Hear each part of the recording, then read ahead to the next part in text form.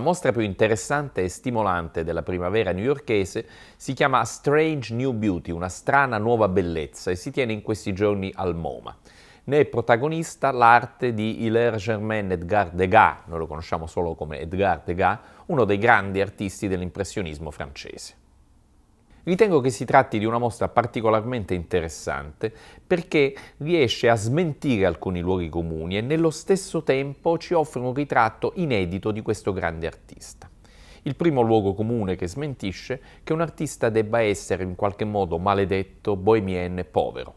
Degas non aveva nulla di maledetto, nulla di bohemien, nulla di povero, veniva da una famiglia benestante se non addirittura ricca. Il nonno era veneziano, si chiamava Degas, De Gas, scritto in due parole distinte. Il secondo luogo comune è il fatto che l'artista sia portatore di idee nobili. Ebbene, Degas spesso, ripetutamente, ha portato avanti idee ignobili, eppure continuava a essere un grande artista. Quali erano queste idee ignobili? Innanzitutto era un tremendo antisemita. Per esempio, all'epoca dell'affare Dreyfus si schierò decisamente e ferocemente contro il povero capitano Dreyfus.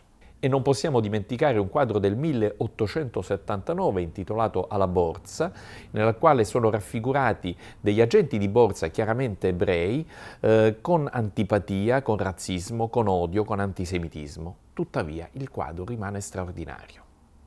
Il terzo elemento che a mio avviso è interessante è quello della generosità dell'artista, perché un altro luogo comune vuole che l'artista sia totalmente egocentrico, egoista, disinteressato agli altri.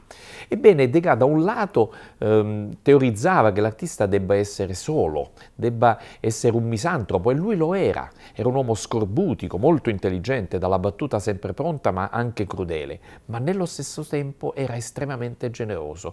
Per anni e anni ha acquistato lui personalmente quadri dei suoi colleghi che non riuscivano ad avere successo. In realtà poi collezionando anche una straordinaria raccolta di arte, ma lui l'ha fatto in primo luogo per aiutare amici come ad esempio Vincent van Gogh. Il quarto e ultimo luogo comune è quello che un artista abbia una sola idea ripetuta in tante forme diverse. È vero, moltissimi quadri di Degas hanno per tema le ballerine oppure eh, degli uomini e delle donne che vanno a vedere le corse, ma come abbiamo già raccontato da questo straordinario quadro orribile nel contenuto alla borsa, Degas si è sperimentato e ha trovato la sua forma espressiva anche in tantissimi altri soggetti. In questa mostra in particolare vediamo una nuova forma di sperimentazione, quella quella dei cosiddetti monotipi, che è una forma ibrida a metà tra il disegno, il pastello e l'incisione.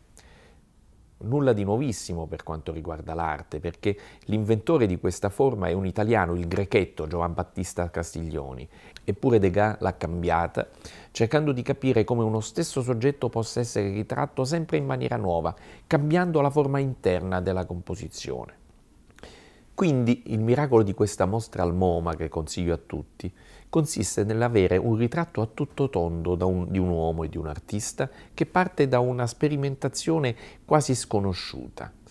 Ne viene fuori un uomo contraddittorio completamente, generoso, egoista, reazionario eppure empatico nei confronti del mondo, politicamente imbarazzante eppure illuminato per altri versi. Era un uomo che detestava il telefono come segno della modernità, ma era nello stesso tempo un artista che riusciva a intuire la profondità e l'ambiguità di ogni essere umano. Un saluto da Central Park West.